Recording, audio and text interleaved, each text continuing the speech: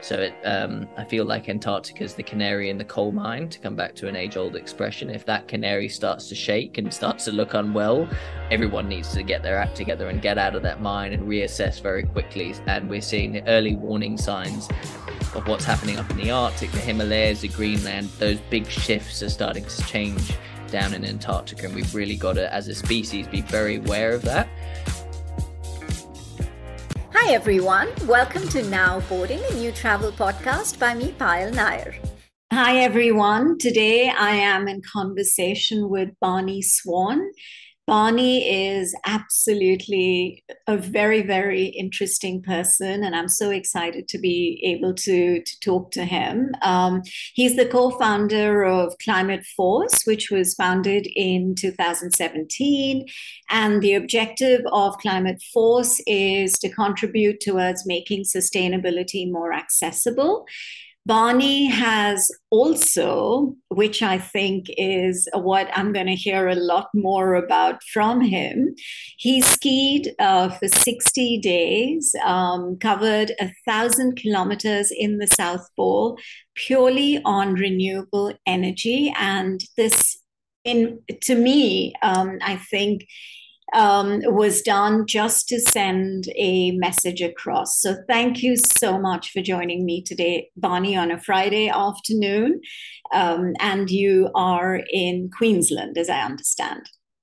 Yep, the top top right hand side of Australia in far north Queensland, Australia, which is uh, a um, yeah, it was cane farmers really uh, were the first people here after the the timber loggers, and now um, you know big conservation movements blooming in this region, with us having one of the most biodiverse places on in in the world and indeed Australia on our doorstep between the, the wet tropics management area, which is a World Heritage Zone with the world's oldest rainforest Daintree at the heart of that, and then the Great Barrier Reef on the other side, which is um, the world's largest coral system uh, visible from space. Okay, so Barney, um, just just a very quick, um, you know, introduction to you in terms of your background um, would be interesting. Wonderful. Well, I was born born in England in um, in London, and then uh, raised up in Yorkshire uh, until I was seven, and then moved out to Australia and uh, did my uh, primary school and high school out in Australia. I went to boarding school in Cairns, which is my closest um, city where the airport is, uh, which is two hours away from the farm that we manage, and um, yeah, so primary school, high school there, and then uh, was working for 10 years, um, primarily based out of California, doing a lot of consulting work. That that South Pole expedition was coordinated, and then casual pandemic, global recession hits, and I abandoned ship from California, came back to Australia. Um, uh, in March 18th, I arrived in Australia, and only four days after that, it was all quarantine, and you had to spend two weeks in the quarantine hotel. So I literally got in four days before all of that happened. Um, and then I've been based here uh, and really coming back home in in a sense of you know picking up a lot of skills globally with the World Economic Forum and what's happening with the UN and general momentum within the corporate and you know p- private public sectors. Um, and then really coming back to a very rural uh, provincial area and really trying to not trying and walking the talk with a um, very tangible regeneration conservation nature based solution, natural capital oriented project. And um, yeah, we're currently managing 372 acres, which is 151 hectares. Um, and planted 6,100 trees uh, this last two months, all geotagged, and um, yeah, really leveraging some of the remarkable technologies that are out there to uh, track and develop a lot of very um, you know, transparent and irrefutable data. Because especially with planting trees, I think a lot of people are skeptical. And if you show them the data, you show them the map, you know, it's uh, what what can they say? So um, yeah, that's the kind of flow, and uh, definitely my accent's a bit odd at this point. I'm saying tomato, tomato instead of tomato. tomato yeah.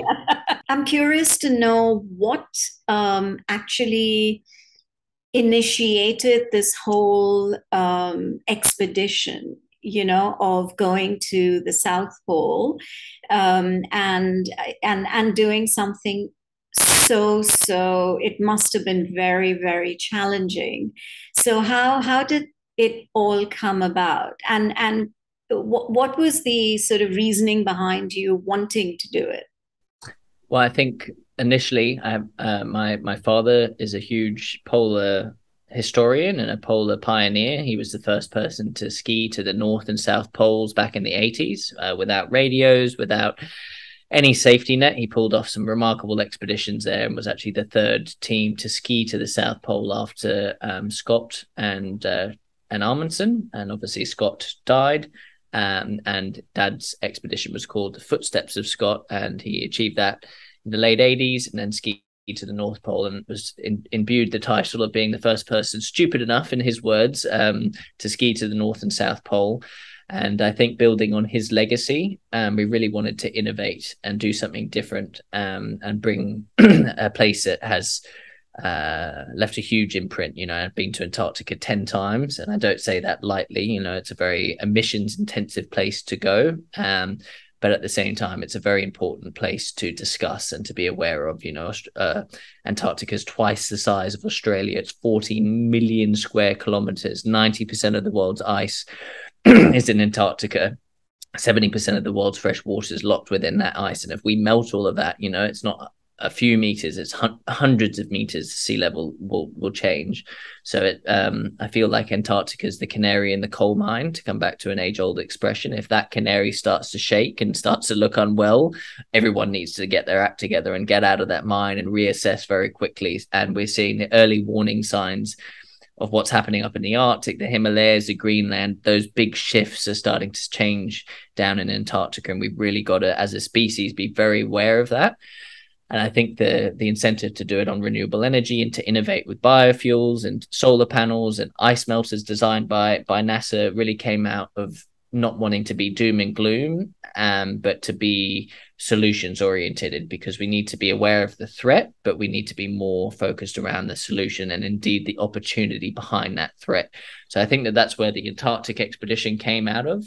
Um, and it's just an interesting story, you know. I think the story is important. Um, and you know, going from the world's coldest place to the world's oldest rainforest, you know, it's a pretty it's a pretty wacky story, really, especially when I zoom out and have a chance like this to to you know share and to really think about what we're doing. And so I think it is a globally relevant story. And I love the word global citizens that you just used before, because the more that we can think global but at local, that I know that's a you know being use until the cats come home. But it really is in such an important thing to have that global perspective, but then to to bring it back to what we can do. And I think a lot of people, especially with these pesky things in our pocket, and everyone scrolling and looking and waking up and turning on turning over in the morning and you know going straight into your phone. If we don't manage this stuff effectively, I think that it puts us into that that global sphere, but without the the opportunity to do something locally. Um and i think that that south pole expedition definitely was a global feeling. And now what we're doing in the rainforest is really you know what can we do locally? You know how can we manage our waste better? How can we you know inspire our employees and our students and our communities and our businesses around uh you know where we live and where we operate to really step up to to the opportunity of doing good for the planet? Um because it's not one industry's responsibility. You know, we all like clean air. We all want food that doesn't make us sick. We all want water that doesn't make us sick. And without those provisions of our planet, we're not going to operate as a species. And I think um, we're really wanting to tastefully create a model here in far north Queensland, Australia, that can help other tropical forests around the place because people aren't, you know, devastating Amazon and Sumatra and Borneo and Indonesia just for fun. You know, you don't run a bulldozer through a forest just for fun you yeah. want to make money you want to make palm oil you want to run cattle you want to create maize to feed the cattle you want to create development all of these things. So what are some of the projects that you know if you could highlight um, that you are currently sort of involved in? And um, how could people who um, are um, concerned about the planet and who care uh, can also reach out to you well, I mean, on the actual farm, we've got a lot of innovation around managing land organically. Uh, weeds literally grow this much a day. So you leave them for a month, you know, they're up to your waist. You leave them to two months, they're back over your head. So if we can manage it organically here, um, we can manage it anywhere around the world. And it has uh, applications for both horticulture forestry and basically anyone who's running lines because we're planting our trees in lines so we can manage them um, but you know i think for people who around the world are tuning in you know i think that how we we have our impact pillars within climate force and i think those are relevant and they're basically broken up into integratable small scale actions that we can do restorative big scale actions that we can do and then connectable experiences that can really bring to life whether that's through volunteer work outward bound experiences sharing a hike with your family you know going to a farm seeing where your food comes from getting involved in a community garden I think especially that connected piece is really relevant to people because for the most part, most people know what we can do in a small scale, whether that's shifting our diet, sourcing re- renewables better, you know, considering how we're traveling, you know, reducing our personal carbon footprint, uh, considering before you purchase, uh, getting secondhand clothes, secondhand furniture instead of buying new. I think people generally, you know, are fairly clued onto that and then the bigger scale stuff you know of of going on a beach cleanup or uh, planting trees or investing in renewable energy or you know doing bigger scale restorative things that are giving back more than we take. I think that that's slightly less obvious. But to be honest i think the gap right now is that connecting because so many people are disconnected right now. And i think that if we can encourage people to go and actually see stuff and get their hands in the soil and you know think if people go and and again i'm not preaching being a vegetarian or anything like that but if people go and see where their meat comes from i think we would have half the world being vegetarian. So so essentially the the the the plants and um, whatever animals that you may have uh, around you, the solar panels and this whole renewable energy um, uh, method it doesn't have any impact on them directly?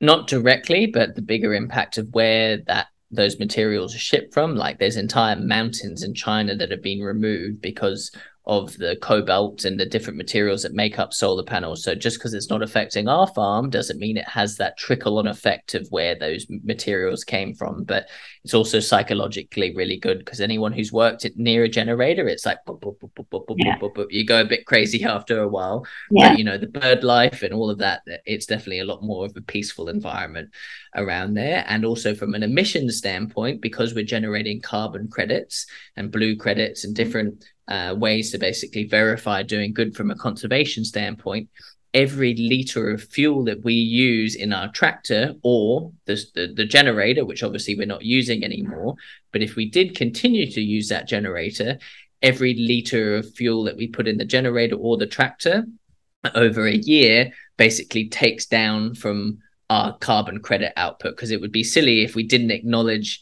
the the emissions that we're creating while we're decarbonizing and creating carbon credits. So if you're using a thousand liters of fuel a month for your tractor, you know that thousand liters over 12 months would then have to have a, a ton uh, you know per ton association and then that would be taken away from your output of credits that would then hit the market and become tradable to help other organizations decarbonize if I uh, remember correctly from all my my research, um, no one else has, and, and you've kind of forgotten to add that it was the entire trip was um, only on renewable energy, correct?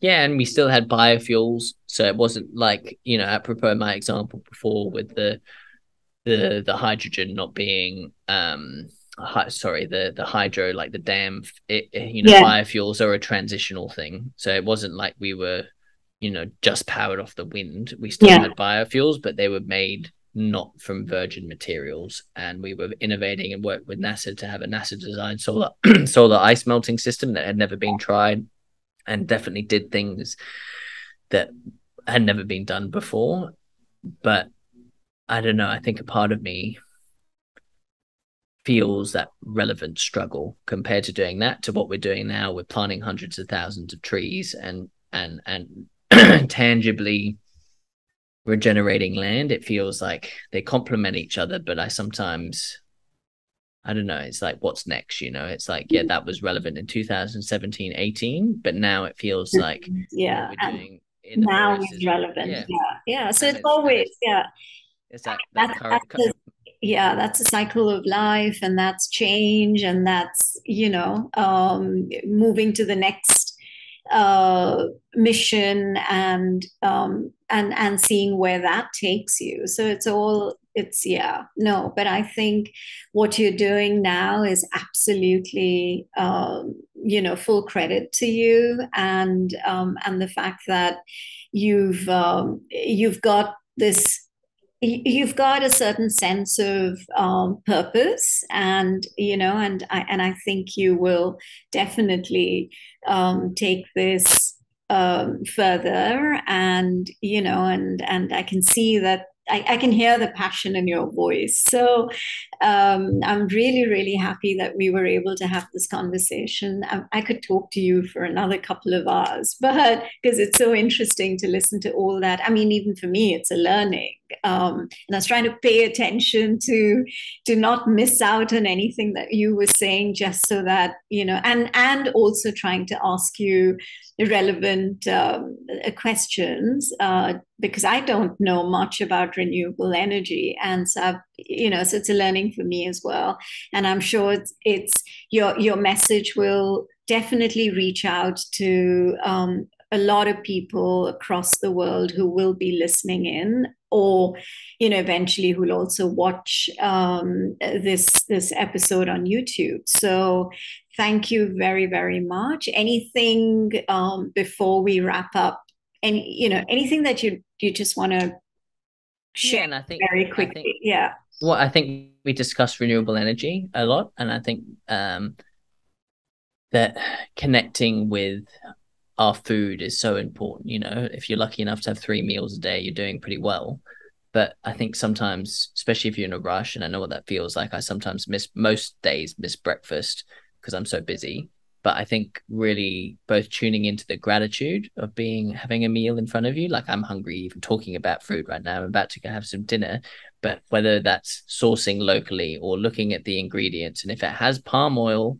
don't buy it because yeah. that means that it's Indonesia disappearing to feed whatever yeah. you're eating right now. And I think little things like that, like I know a lot of conservationists and passionate people who eat stuff with palm oil in it. And you're like, if you actually think about that that's really not good, you know. And I think with food, especially if you're in a rush and you're in an airport and you're traveling, you're like, oh, I'm hungry, you know, I'm just going to eat that because my senses want that. Being restrained, conscious with how we eat, I think trickles into so many parts of ourselves with how we're traveling, with how we're showing up within community, with how we're treating ourselves you know the the the, the metaphor of um you know we are what we eat's been used until you know it's yeah. boring now to to say that again and again but it is so true you know and i think i encourage anyone listening to really just explore a little bit more on where their food comes from and do a bit of research about agriculture and soil and runoff and the difference between doing things with synthetic chemicals versus doing it organically and the consequences of livestock and you know if you really want to have meat understand that you know beef is up here lamb is here pigs are here chickens are here and you know obviously there's the ethical chart over here which is a whole different discussion. But actually from an impact emissions water scarcity all of these things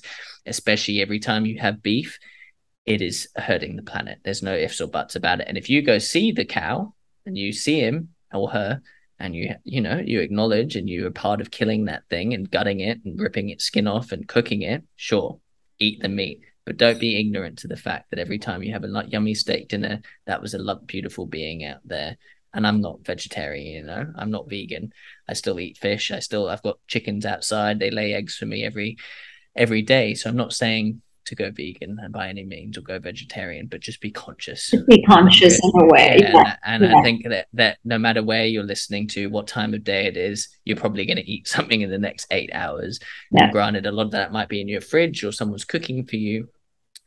But I think connecting with our food and agriculture is so important because some people are really not tuned into that space at all. And especially young people i think that you know taking them to farms and showing them and showing them how a seed goes to a tree goes to a thing that produces fruit and feeds us it's so important to connect with that life cycle because it's life you know? And then the the animal or the tree dies and it recycles and it goes back into that next system. So i think if we can tune into the agriculture and the food process, it really trickles into so many parts of of being a human. Um, and so I definitely just encourage that, and just to think before you consume. You know, do you really need this? Is there a secondhand option? Can I get it a local version of this? And instead of just quick buy, quick buy, quick buy, Amazon purchase, blah blah blah blah, consume, consume, consume. Slow down. You know, it doesn't mean that you can't fire off a thousand emails a day. Yeah. yeah. just slowing down how we especially eat and consume is so so important. Yeah it's convenience over awareness. I think exactly. yeah that's the difference. Yeah yeah. Thank you so much barney. Um, you have a wonderful dinner which you said was waiting for you and i've really really enjoyed this conversation. Me too. Thank you very much and hope have another you. chat soon. Yep absolutely. You take care. All the best. Thank you you enjoyed this episode of Now Boarding, a travel podcast. Check out other episodes on Spotify, Apple Podcasts, Google Podcasts, or wherever else you listen to podcasts. And of course, don't forget to share your thoughts with us. Stay tuned for more exciting episodes only on Now Boarding, a travel podcast.